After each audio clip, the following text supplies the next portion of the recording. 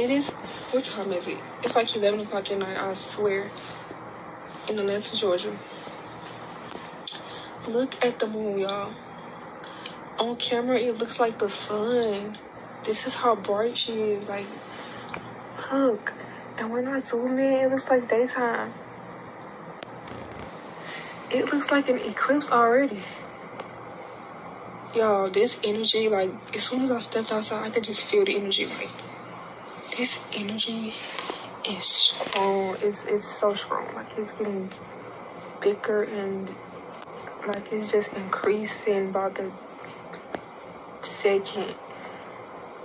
Like, the energy is so crazy. Look at the moon. Look how bright. Look at that. Look at that orb. And look. Y'all, it's time. We about to get our plane back. We, we are about to get our plane back. Okay? Some shit is about to go down. I want y'all to know we is okay. Cause I've been traveling to the astral room and I've been seeing two moons and like the astral rooms has been so crazy. Like, like my, it's not even dreams anymore. I don't even have dreams anymore. It's like real. It's like I just go to a different place, you know. But I'm still here. So for many of you, um, I don't know, but I know my dreams have been vivid.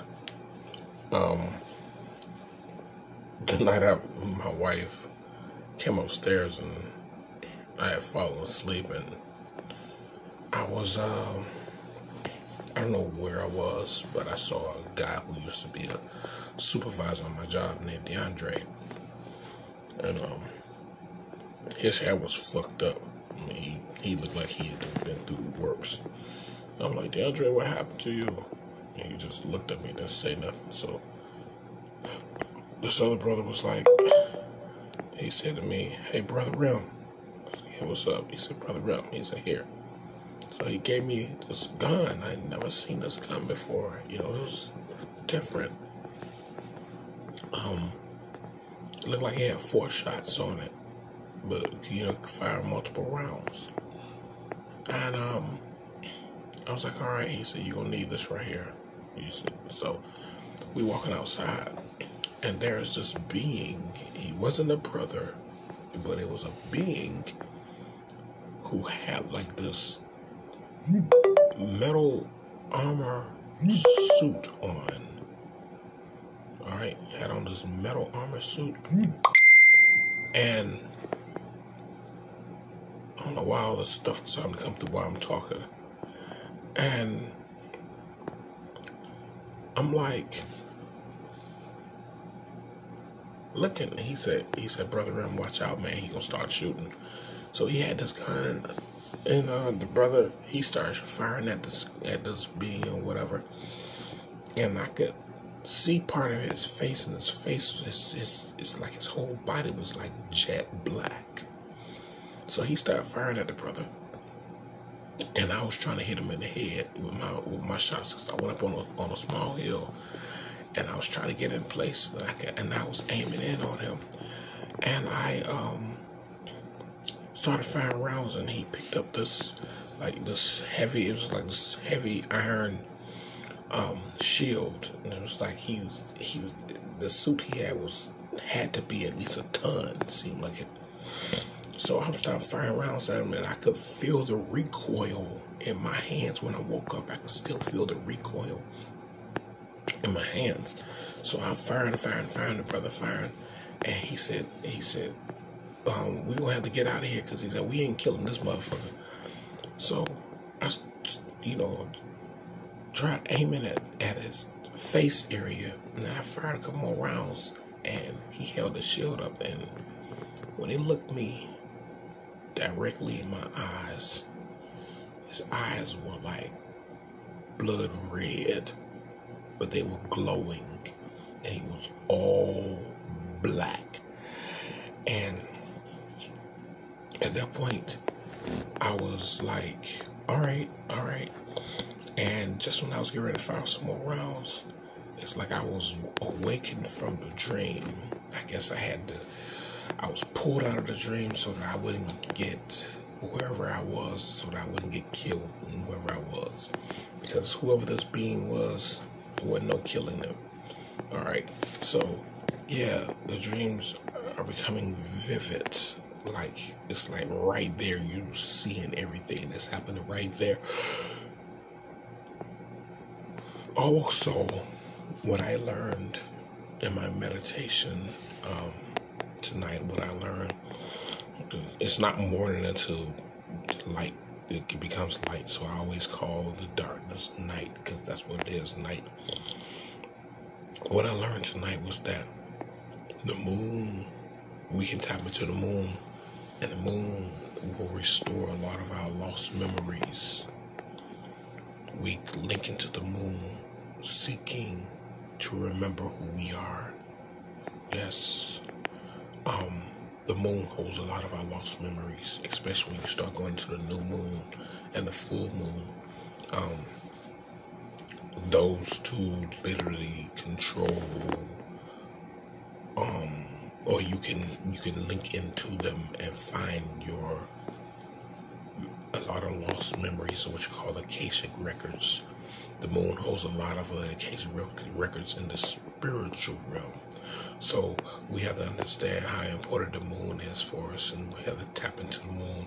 There's certain ritual we gotta do, and I gotta find that ritual. When I find it, I want to pass it on to you all. But it's a ritual of remembrance. Okay, so it's like the moon has always been here in our atmosphere. Nobody brought the moon to us. The moon is not a reptilian Draconian base. The moon is in the atmosphere. It moves just like the sun, y'all. Okay? All that bullshit people talking, don't believe that shit. No science. Okay? You have a sun and a moon. Moon deals with your spirit and your soul. So where does all your memory come from?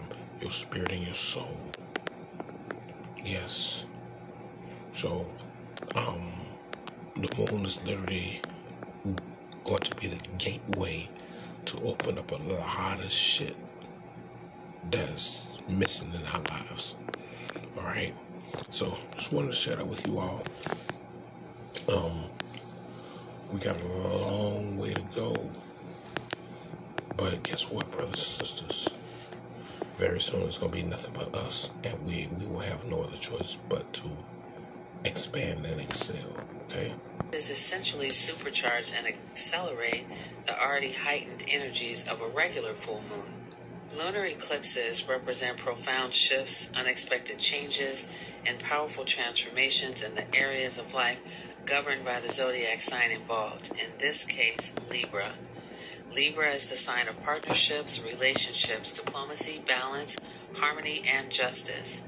A lunar eclipse here signals major developments, revelations, or abrupt transitions related to close relationships, contracts, marriages, business partnerships, or legal matters.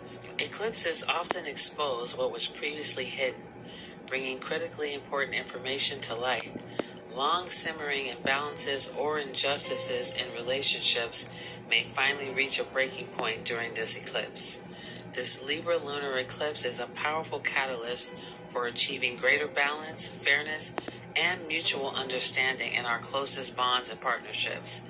It's an invitation to resolve imbalanced dynamics or attachments holding us back from our fullest potential. Here are five ways to harness the power of the upcoming full moon and lunar eclipse in Libra. Practice forgiveness. Libra is the sign of balance, harmony, and relationships. Use this energy to forgive others and release resentments that may be holding you back. Reevaluate partnerships. This eclipse highlights your closest one on one relationships. Reflect on which partnerships, romantic, business, etc., are balanced and serving you well. Find your center. With the moon opposite the sun, there can be a push pull of energies. Spend time meditating, doing yoga, or engaging in activities that help you feel centered and balanced. Work on compromise. Libra's energy is about negotiating and finding the middle ground. Initiate a conversation where you aim to compromise on an issue. Beautify your space. Libra is connected to art, aesthetics, and beautification. Rearrange furniture, hang new art, or decorate. So you understand what's going on with the moon? This is this moon is shifted. This eclipse is completely different. It's an absolutely different eclipse. The moon is shifted. The moon is, will spew out our memories. All you have to do is link it to the moon. And you just see, you remember, you need to get a little bit at a time. A little bit at a time. Believe in yourself. All right, brothers and sisters. Don't believe in the moon. The moon is always there. Believe in yourself. Because the moon is a reflection of you. And you're a reflection of the moon. Understand? Therefore, what is above is also below. Believe in yourself. Focus on yourself. Focus on so much. People say the moon is always there. You might not see it. It's just sometimes it's kicking out light energy, sometimes it's kicking out dark energy. Yes, but it's always there. So understand. You can link it to your Akashic records. You can link to the ancient ancient histories the moon. This is here now. It's a trade-off of energies. The more you link into the moon, the more powerful you become. Well, your enemies, those who are not indigenous, begin to thin out. See what I'm saying? Collect this energy, collect your memories, and don't just collect it, do something with it. All right? Because soon it's going to be nothing but us. We won't have any banks and corporations and businesses and, and money and all this other garbage. It's just going to be us. Us and only us. Which means we're to have a shitload of time to rebuild our realm, rebuild our lives. All right? Catch you guys later.